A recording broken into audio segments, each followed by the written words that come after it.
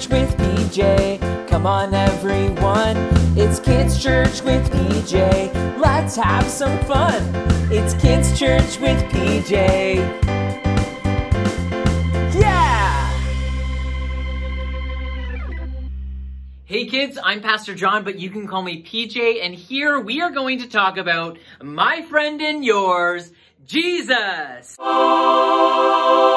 I was younger, I got to go to this super cool camp. It was a Tim Hortons camp in Kananaskis, Alberta. We got to do lots of cool things there, but one of the things we got to do was ride horses through the forest. Before we went riding, they asked us how much experience we had, or if we had ever ridden a horse. Now, I had ridden a horse a few times at another camp, but I really wanted to impress them, so I lied. I told them that I had ridden horses for like my whole life. So what happened was they gave me the biggest, baddest horse. He didn't listen to me when I wanted to stop or go, or when I told him to go in a certain direction. It was really bad. It was so bad that my horse actually knocked over another horse.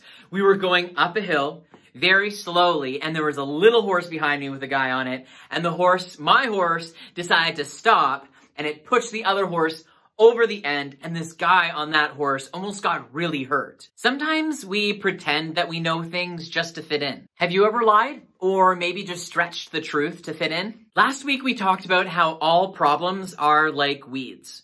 And in order to deal with those weeds, we can't just pull off the head, but we have to deal with the root. Now, do you remember what is at the root of every single problem? If you said or thinking something like evil, sin, Satan, the devil, you're right. In Ephesians 6 verse 12, it tells us that there is a battle going on for our lives. And Satan, or the devil, he's doing everything that he can to pull us away from God. Yet God is doing everything he can to draw us back to him. And last week I talked about how God has given us tools in order for us to fight back against Satan and his tricks. But maybe instead of calling them tools, we should call them armor because... Did you hear that? That means that it's time to dance. So whatever you're doing right now, I mean, well, I guess you're watching me, but I want you to stop, stand up, and when you hear the music, dance with me.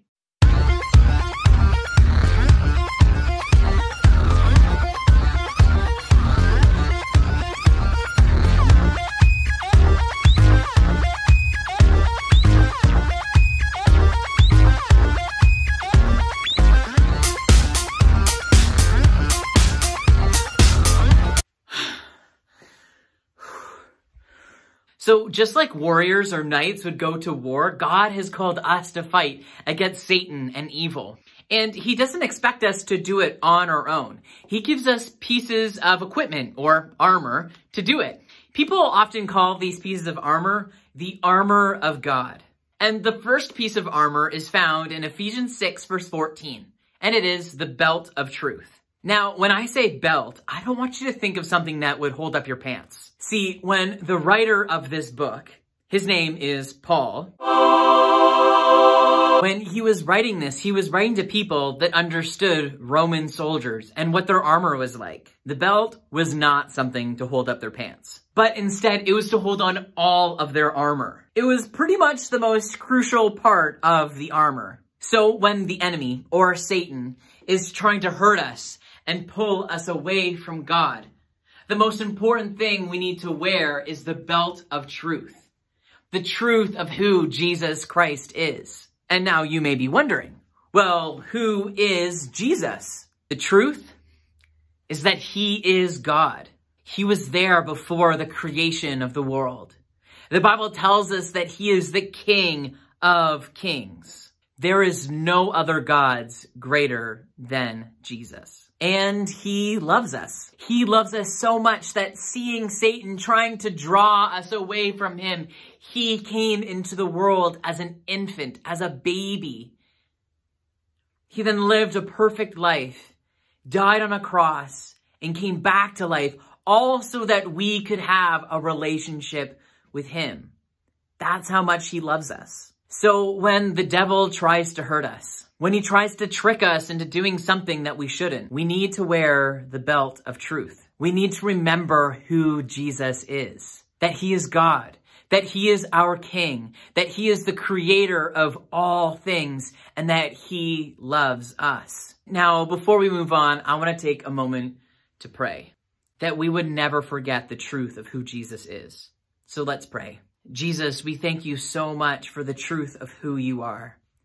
We thank you that you are the creator of all things, that you are our king, that you are greater than anything in this world.